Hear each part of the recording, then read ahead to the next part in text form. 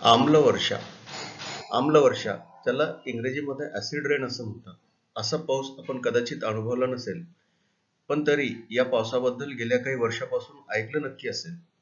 पावसाचं पाणी हे अतिशय शुद्ध मानले जाते पण या पावसाच्या पाण्यात काही वेळा काही प्रमाणात कार्बन डायऑक्साईड अमोनिया असतो.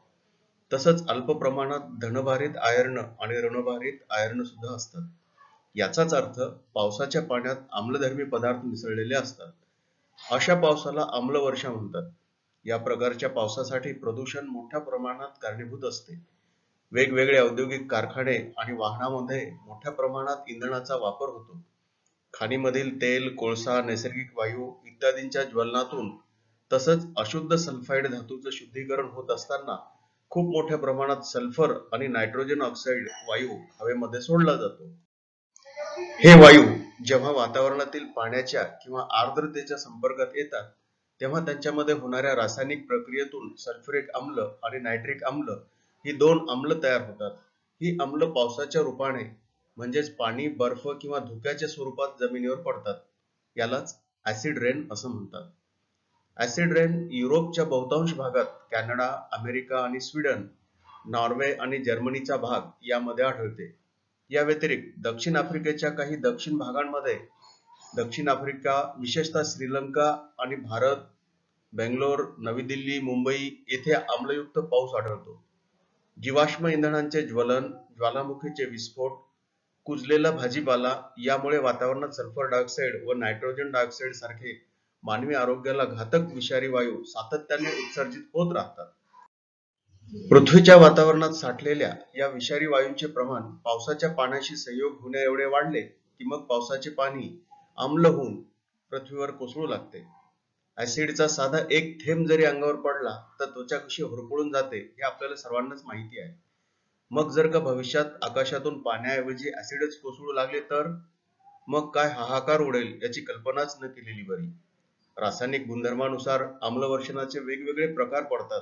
उदाहरणार्थ सल्फ्युरिक आम्लवर्षण नायट्रिक आम्लवर्षण कार्बनिक आम्लवर्षण वृष्टीजलात काही प्रमाणात आम्ल असतेच कारण वातावरणातील कार्बन डायऑक्साईड हा वायू काही प्रमाणात मिसळलेला असतो. कार्बनिक आम्ल हे वर्षणातून जमिनीवर येते मात्र त्याचे सामू म्हणजे पीएच मूल्य पाच पॉईंट सहा असल्याने ते हानिकारक ठरत नाही. या आम्लाचे प्रमाण वाढल्यास असे वर्षण घातक ठरते. आम्लवर्षण हा हवेच्या प्रदूषणाचा परिणाम असून दिवसेंदिवस ही एक गंभीर समस्या बनत आहे. विशेषतः विकसित देशात ही समस्या अधिक गंभीर बनली आहे. आम्लवर्षणामुळे वनस्पती प्राणी मृदा विविध वस्तू वास्तुशिल्प आणि मानवी आरोग्य यावर दुष्परिणाम होतात. आम्लवर्षणामुळे वनस्पतींच्या प्रकाश संश्लेषण क्रियेवर म्हणजे त्यांच्या हरित द्रव्य तयार करण्याच्या प्रक्रियेवर परिणाम होऊन पानांचा हिरवेपणा कमी होतो. त्यामुळे पाने पिवळी पडून हळूहळू गळून पडतात. कालांतराने त्या वनस्पती सुद्धा नष्ट होतात. अमेरिकेची संयुक्त संस्थाने कॅनडा युरोपीय देश जपान इत्यादी देशात आम्लवर्षणामुळे कित्येक वनस्पती वेगाने नष्ट होत आहेत. जपानमधील टोकियोच्या उत्तरेस असलेल्या कांटो मैदानी प्रदेशाच्या विस्तृत क्षेत्रातील सिडार वृक्ष आम्लवर्षणामुळे पूर्णतः नष्ट झालेले आहेत. आम्लवर्षणांचे जलपरिसंस्थेवर सुद्धा दुष्परिणाम होतात.